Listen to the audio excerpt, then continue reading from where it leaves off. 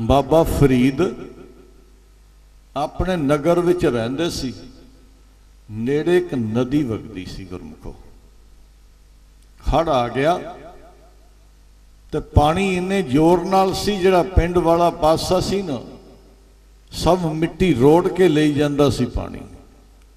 ਸਾਰੇ ਨਗਰ ਦੇ ਸੱਜਣ ਇਕੱਠੇ ਹੋ ਕੇ ਗਏ, ਬਾਬਾ ਜੀ, ਤੁਸੀਂ ਖੁਦਾ ਦੀ ਇਬਾਦਤ ਕਰਦੇ ਹੋ।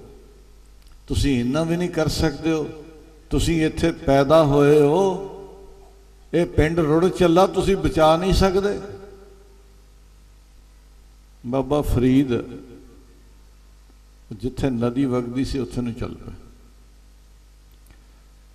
ਨਦੀ ਦੇ ਕਿਨਾਰੇ ਖੜੇ ਹੋਏ ਕਹਿਣ ਲੱਗੇ ਉਹ ਖੁਦਾ,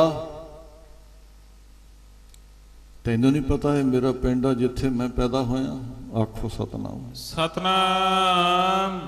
ਜਿੱਥੇ ਮੈਂ ਪੈਦਾ ਹੋਇਆ ਤੈਨੂੰ ਨਹੀਂ ਪਤਾ ਮੇਰਾ ਪਿੰਡ ਆ ਤੂੰ ਮੇਰਾ ਪਿੰਡ ਰੋੜਨਾ। ਕਹਿੰਦੇ ਆਵਾਜ਼ ਆਈ ਓ ਫਰੀਦ ਤੂੰ ਰੱਬ ਦਾ ਸ਼ਰੀਕ ਆ ਆਖੋ ਸਤਨਾਮ। ਸਤਨਾਮ।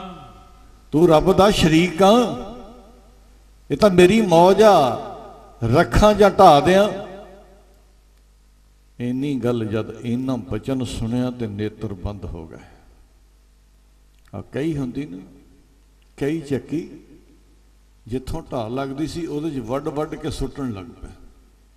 ਕਹਿੰਦਾ ਜੇ ਤੇਰੀ ਰਜਾ ਢਾਉਣ ਦੀ ਆ ਮੈਂ ਵੱਖਰਾ ਕਾਹਨੂੰ ਹੋਣਾ? ਇਕੱਠੇ ਦੋਨੋਂ ਢਾ ਲੈਨੇ ਆ। ਆਖੋ ਸਤਨਾਮ। ਸਤਨਾਮ। ਉੱਥੇ ਹੀ ਰੁਕ ਗਿਆ।